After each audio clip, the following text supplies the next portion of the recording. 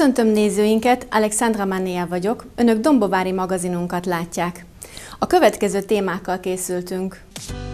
Az orrunknál vezettek minket, Illatok kalandjáték a címmel nyílt interaktív kiállítás. Országos mix röplabda verseny, több országból is érkeztek csapatok. A Dombovári Fúvós Zenekar évnyitó koncertje. A kommunista diktatúra áldozataira emlékeztek Dombóváron. Vas Albert felolvasó napot tartottak. Illatok kalandjáték a címmel nyílt interaktív kiállítás a Művelődési Házban. A tárlat 16 játékállomásból álló kalandos illatkörút. Alapvetően a program ötlet célja, hogy a látogató szórakoztató kalandos utazás során ismerje meg közelebbről az orr és az illatok izgalmas világát. Tavaly eh, kaptam egy telefonhívást Faust Márk nevű fiatalembertől, most már tudom, hogy fiatalembertől, hiszen a napokban személyesen is találkoztunk, hogy nekik van egy nagyon jó kiállításuk, erről elküldte az információs anyagot, és én egyből azt mondtam, hogy szívesen tudnánk fogadni, hiszen ennek van egy előzménye, a Magyar Turisztikai Szövetség Alapítvány nál folyamatosan lehet pályázni fiataloknak, egyetemista fiataloknak, és háromfős csapatok jelentkezhetnek. 2021-ben Faust Mark, Ferenci Luca Sára és Pálos Marcel csapata nyert innovatív ötletével, mely a turizmushoz is kapcsolódik. Szerencsére nem csak, hogy megnyerték, hanem hogy látjuk, meg is valósult ez a, ez a pályázat. Ezt tekinthetik most meg a gyerekek, elsősorban óvodásoknak, kisiskolásoknak szól, de természetesen felnőtteknek is.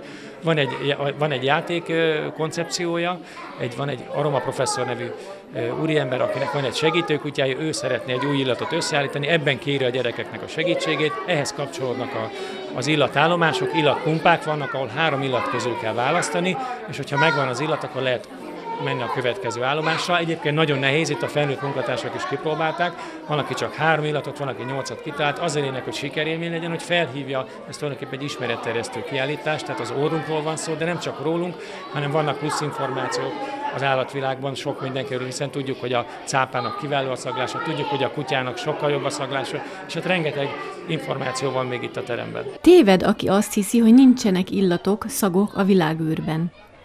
Persze nem magának a vaksötét vákumnak, hanem azoknak a kémiai folyamatoknak, melyek végbe mennek benne. Az űrhajósoknak sikerült ezt kiszagolniuk. Észrevették ugyanis, hogy az űrséták után a hajóra visszatérve ruhájukból és felszerelésükből jellegzetes füstös aroma árad, melyet odaéget sült húshoz, szakhoz, égő puskapor illatához hasonlítottak. Az éget fanyar szakforrása valójában a csillagközi anyagban jelenlévő és a csillagok formálódását is végigkísérő szénvegyületekben keresendő. A kedvenc illatom? Nem mondom, hogy a kedvenc illatom, de hogy a világűrnek van-e illata, ezt például nem gondoltam. Ez pont egyébként nagy részt jó illatok vannak, hiszen a, a gyümölcsök, a virágok illatai mind jók, a baba illat is, a karácsony illata, de a világűrnek kifejezetten kellemetlen az illata, úgyhogy ez inkább meglepett. Nem mondom, hogy a kedvenc illatom, csak egy kicsit olyan érdekesség itt a kiállításban. Az anyának megmondtam, hogy simatoltunk, és, és voltunk pozson. Nekem azt tetszett, hogy a moziztunk, mert voltunk buszon.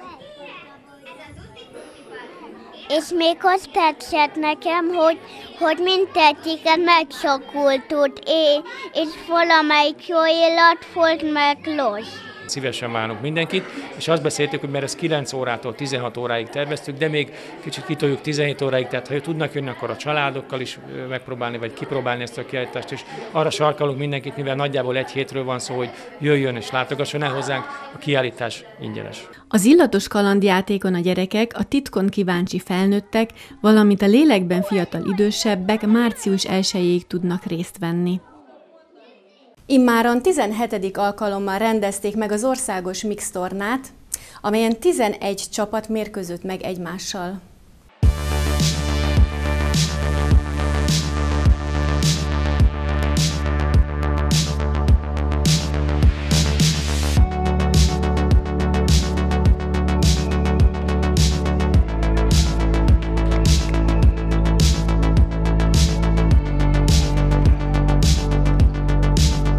Külön nagy öröm számunkra, hogy most már nem csak az országon belül, hanem nemzetközivé vált a torna.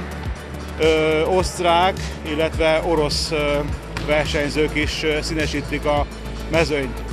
És hogy mi, miről is szól ez a Mix torna. Rendes röplabda szabályok szerint zajlanak a mérkőzések, tehát 6 fővel. Annyi az érdekessége, hogy a 6 fő az három férfi, három női résztvevőből áll, ezért is mix a, a tornának a megnevezés, tehát a vegyes röplabdáról szól a dolog. A, elég, elég, elég erős mezőny jött össze, mai nap is. Jelen pillanatban a, a elő, elődöntők zajlanak éppen. A Mixorna létrehozásakor alapvető elgondolásunk vagy célunk az volt, hogy az amatőr csapatoknak biztosítsunk egy jó kis játék lehetőséget. Ez most a 17 év alatt már annyira nőtte ki magát, hogy a, mondhatni, hogy az amatőr csapatok közül a, a leg, leg, legnívósabb, legerősebb csapatokkal igyekeznek kiállni, mind a régióban, mind az ország szerte. Nagyon, nagyon éles meccsek zajlanak, tényleg ilyen egy, egy-két pontok döntenek. A csapat, két, két csoportra osztottuk a résztvevőket. A két csoport második, harmadik helyezettjé jutnak tovább, a, akik harmadik, illetve negyedik, ötödik helyezettként végzettek, ők pedig a úgynevezett elnöki kupába játszhatnak tovább. Tehát van egy úgynevezett alsó és felső ház, kupákkal érmekkel díjazzuk a nyerteseket. Garai Dénesnek fontos a röplabda, mivel csapatépítő szerepe van, illetve a tagok között szorosabb kapcsolat alakul ki a versenyek során. Ezt a sportot nagyon szeretem. A fegyelmezettség az nagyon fontos, meg a koncentráció, és igazából én így ennyi lettem. Ricsi bácsi az edzőm, kb. 9 éve kezdtem el nála, és akkor most ilyen visszatérő vagyok. Hát, hogy jól érezzük magunkat, az, az a legelső. A szurkolás az, az is nagyon jó. Meg hát az a lényeg. Nyerni, hát nyerni még egyet azért csak-csak szeretnék, és igazából én ennyit várok a mai naptól. Itt Dombováron, ha jól emlékszem, most negyedjére vagyok már itt, és eddig mindig nagyon jó mérkőzések voltak, meg nagyon szoros meccsek. Nagyon régóta, 13 éve talán először élsportba kezdtem, azóta én már abba hagytam, viszont így uh, hobbi szinten még játszom. Számomra a csapat összetartás, hogy meglegyen a szimbiózis egymás között, jól érezzük magunkat a pályán, természetesen azért hajtsunk a győzelem felé, de nyilván az egy ilyen biztorán, hogy jól érezzük magunkat. Én jelenleg most vagyok itt először, a csapatom többi tagja már volt többször, nekem ez az első. Mi most csoportelsők lettünk, kikaptunk egyszer a csoportunkba, de hál' Isten körbeverés által jól jöttünk ki, és most az elődöntőre várunk. Az elején kicsit hullámvölgybe voltunk, de jelenleg én úgy érzem, hogy felfele tartunk, és én a legjobbakat várom el a csapattól. A végeredményről a meccspontok aránya döntött, ebből a Rozatom csapata került ki győztesen, így ők nyerték el harmadjára is az elnöki kupát. A második helyet a Pipicsó szerezte meg, a Joppote pedig a harmadik lett. Az ifjúsági fúvós zenekar megtartotta a már hagyománynak számító tavasz köszöntő koncertjét a Tinódi házban.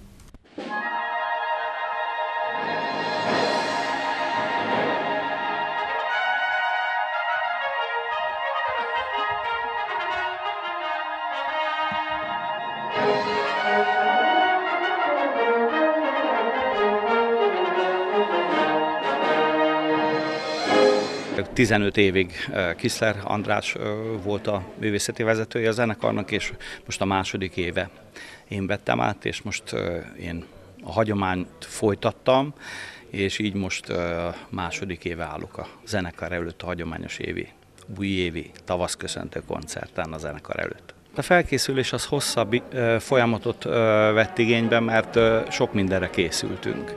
Tehát volt az ősszel egy karmesterkurzus, egy országos karmesterkurzus, amit a Magyar Fúvozene és Mazsoret Szövetség, valamint az intézményünk, az Evangélikus Általános Iskola és Zeneiskolai tanárok, illetve a vezetőség szervezett, és így koprodukcióban novemberben volt a kurzus, arra készültünk, ami nemzetközi volt, és 14 ö, kollégát láttunk vendégül, és három napon keresztül konferencia keretén belül gyakoroltunk a zenekarral, és a zenekari anyag egyik része az, az tulajdonképpen egy különálló felkészülést igényelt, és december, január és utána tudtuk elkezdeni, tehát két és fél-három hónap időintervallumot vett igénybe. Havonta négyszer próbálunk a zeneiskolába pénteken, pénteken, bocsánat, és minden hónapban egy szombat azok számára, akik nem tudnak a pénteki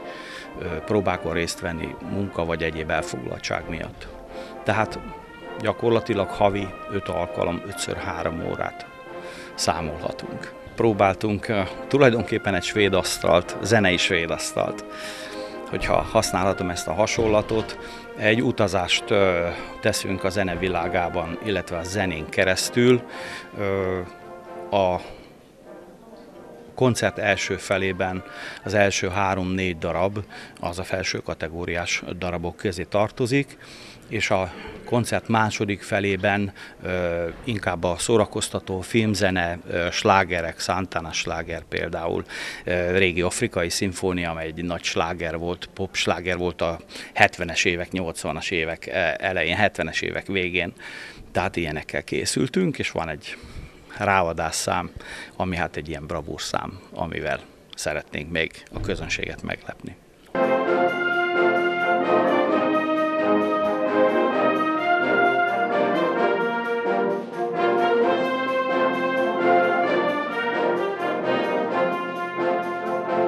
Húsz éves hagyományra tekint vissza, hogy a zenekar koncertet ad a helyi művelődési házban, amely nagy érdeklődésre tart számot a lakosság, illetve a zenekedvölőinek körében. Az Alapfokú Művészeti Iskola és a Zeneiskola és a zenekar között egy nagyon érdekes szimbiózis alakult ki már a kezdetektől fogva.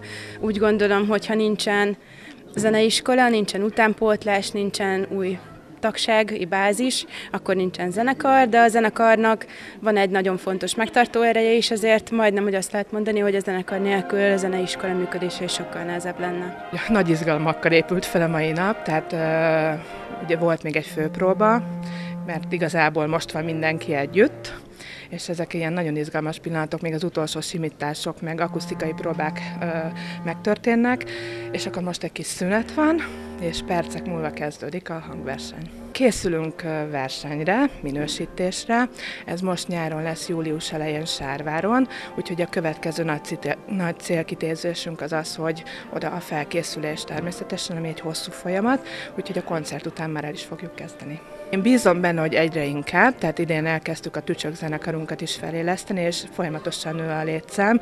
Most már biztató jeleket látunk, úgyhogy igen, bízom benne, hogy lesz utánpótlás, ha nem is jövőre, de egy-két éven belül biztosan.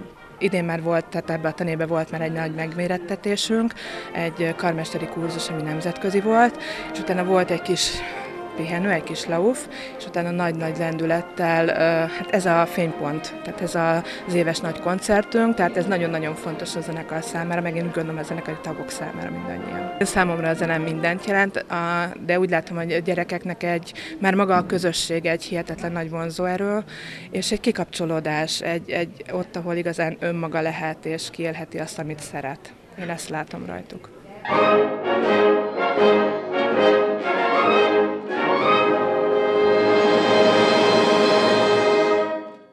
Február 25-e a kommunizmus áldozatainak emléknapja. Dombováron is megemlékezést tartottak, felidézve azok emlékét, akik az erőszakrendszer áldozataivá váltak. A kutatók becslése alapján a kommunista diktatúra áldozatainak száma eléri a 100 millió főt. A kényszertáborokban, éhínségben, illetve a kivégzések által elhunytak száma közel 1 millió. A rendszer áldozatai közé tartoznak azok, akiket bebörtönöztek, kínoztak, vallattak, megbélyegeztek a csoport, illetve vallási hovatartozásaik miatt. odakint most szörnyek járnak, nem akarnak tűnni az árnyak, téged most a csillagok várnak, ne felejtsd el azt álmodtad, hogy szeretsz, azt mondtad úgy szeretsz, hogy senkit még a fiam lehet. Ez így lesz már, és vége lesz majd minden rossznak, nem szabad félni. Az országgyűlés 2000-ben elfogadott határozata szerint minden évben február 25-e a kommunizmus áldozatainak emléknapja. Az emléknap célja, hogy felhívja a figyelmet a kommunizmus áldozataira, és emlékezzen azokra, akik életüket vesztették, vagy szenvedtek a kommunizmus, a kommunista diktatúra alatt. Sokkal többen voltak azok, akiket a diktatúra hétköznapi valósága testileg és lelkileg megnyomorított. Magyarországon 1945 és 1989 között több mint 70 ezer ember börtönöztek be politikai okokból, és az 1956-os megtorlás áldozataival együtt 714 embert végeztek ki. A koszorúkat az 1956-os emlékműnél helyezték el.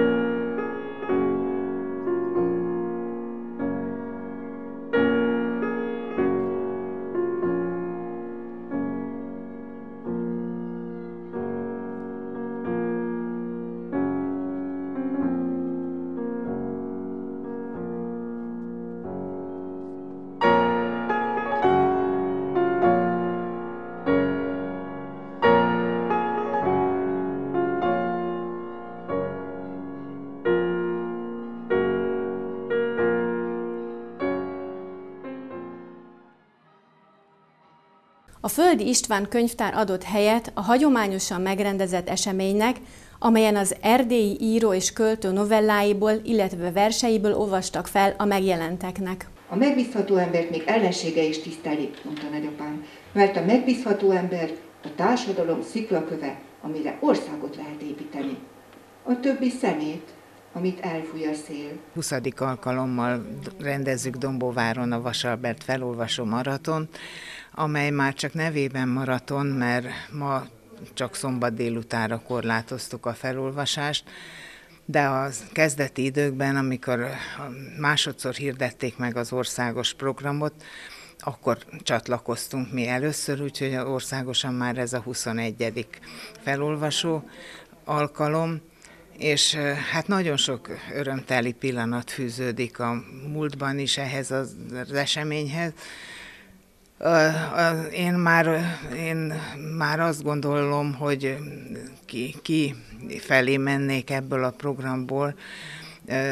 Be, nem belefáradtam, azt nem mondanám, de, de már nagyon sok, sok mindent próbálok le, letudni vagy leadni, de nagyon-nagyon lelkes segítő imés utódaim is vannak, illetve társaim, mert tehát évek óta együtt szervezzük. Eleinte valóban maraton volt, tehát az országos program szerint pénteken este elkezdtük, éjszaka is ment, és szombaton este országos zárással együtt zártunk mi is. De akkor utána, mivel az éjszaka az elég pangó időszak volt, ezért úgy döntöttünk, hogy szombaton reggel kezdjük, és akkor szombaton este zártuk. Délelőtt általában az általános iskolások jöttek felolvasni, meg a középiskolások, délután a felnőttek zömében, és akkor nagyon megható, szép közös zárással zártuk a, a napot de ma már, mint mondtam az előbb, már csak délután a, itt a Városi Könyvtárban 2-től 6-ig lesz a felolvasó maraton.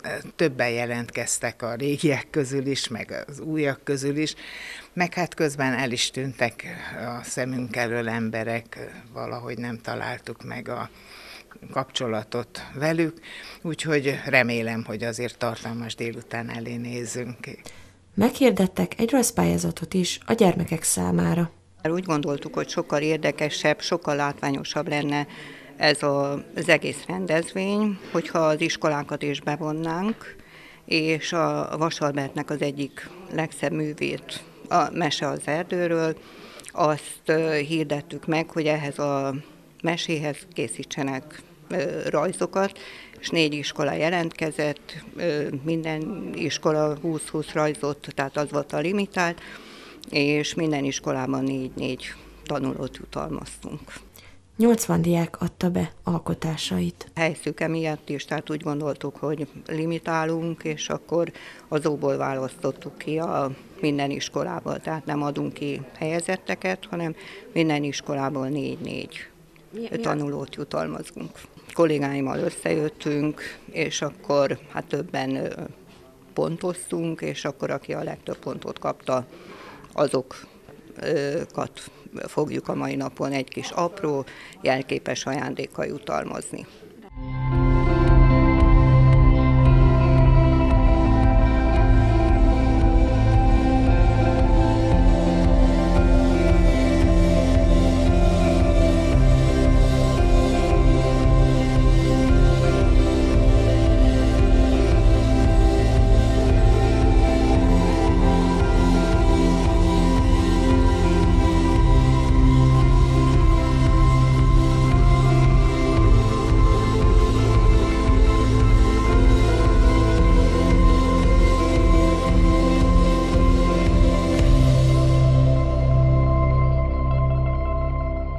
Most már 20 éve megy országosan ez a Vasalbert felolvasónap, és nem is igazán csak országosan, mert magyar laktavidékeken mindenütt megszervezik.